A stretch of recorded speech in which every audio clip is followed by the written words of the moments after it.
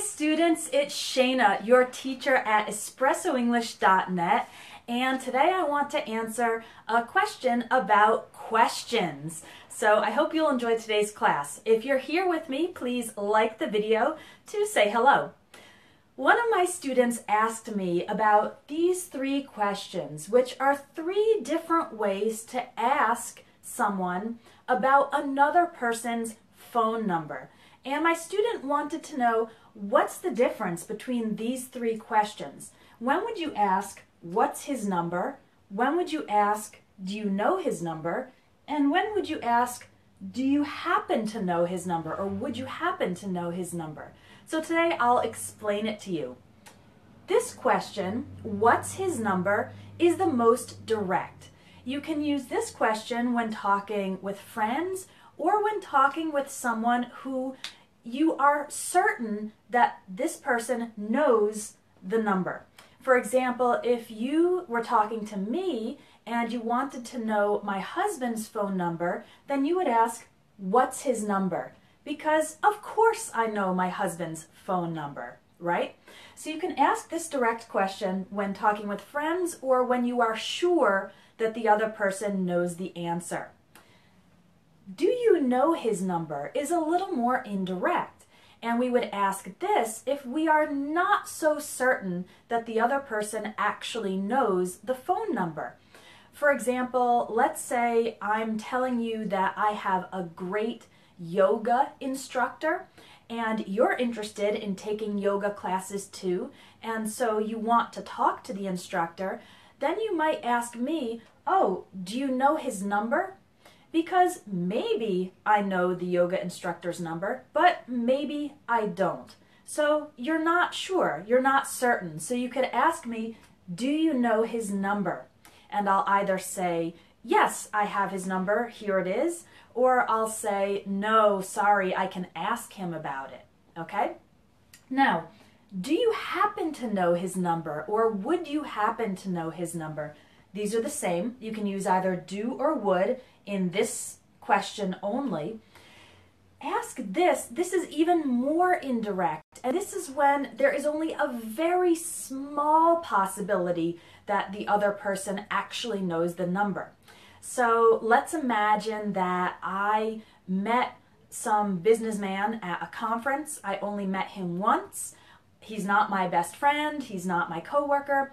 And later, I'm telling you about this businessman and you want to contact him. So you might ask, do you happen to know his number or would you happen to know his number?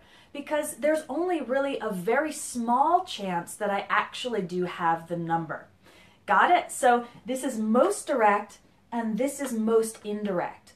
Or this is the most certain question when you're certain the other person knows the answer. Use this when you're uh, maybe a little bit uncertain, and use this, do you happen to know, or would you happen to know, when there's only a very small possibility that the other person knows the answer, or in this case, the phone number. All right? So it's an interesting thing. We use the word happen in English.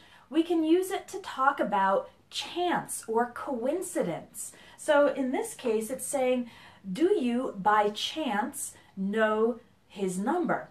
And let me give you some other examples of using happen to talk about coincidences, because I think this is an interesting aspect of English. Let's say that I'm talking to my friend, and my friend is in some sort of legal trouble, and my friend says, Oh, I really need a lawyer. I could say, Oh, my sister happens to be a lawyer. Okay? My sister happens to be a lawyer. This means it's an, it's by coincidence or by chance. My sister is a lawyer, and a lawyer is what my friend needs. So it was a happy coincidence that I actually know uh, a lawyer and it's my sister. Another example would be so that would be an example of using happen for a good coincidence. You need a lawyer? My sister happens to be a lawyer. You can also use happens for bad coincidences. Here's an example of that. Let's imagine that last night there was a big thunderstorm and there were some very strong winds and the wind knocked down a tree. Unfortunately, my car happened to be parked next to the tree. So the tree fell on my car. So that's an example of an unlucky coincidence or a negative coincidence. Uh, the thunderstorm knocked down a tree and my car happened to be parked next to the tree. It was chance that my, or coincidence, that my car was parked next to the tree. Got it? Uh, another really good example is some of you might have seen a video I posted last week with another English teacher, Gabby from Go Natural English. Gabby and I, we know each other because we've met in various cities around the world and she likes to travel and I like to travel, so we're always living in different places. But right now, we happen to be living near each other.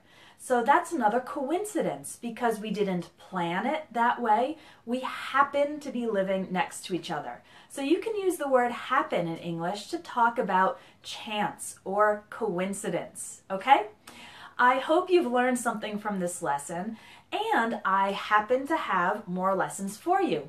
If you click the link above this video, uh, you can take some free samples from all of my courses. So if you want to know exactly what my courses and my ebooks are like, then you can take a free sample lesson and see exactly what the format is, if the level of difficulty is appropriate for your English level, and of course, see if you enjoy the lesson. So go ahead and click on the link to try some free samples. Thank you so much for this question about questions. If you have more questions from me, please post them in the comments and maybe I will make a future video about them. Bye for now.